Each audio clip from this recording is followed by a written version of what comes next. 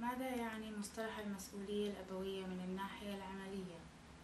عند اتخاذ قرار بخصوص الطفل فإن جميع من تقع عليهم المسؤولية عن الطفل يجب أن يقرروا بخصوص الطفل والقرار يجب أن يكون عن تربية الطفل القرارات اليومية يجب أن تتخذ بواسطة الأبوين أو الشخص الذي يسكن معه الطفل بدون تدخل ممن يحملون المسؤولية الأبوية الآخرين عمليا المسؤولية الأبوية تعني الصلاحية لاتخاذ قرارات هامة فيما يتعلق بالطفل.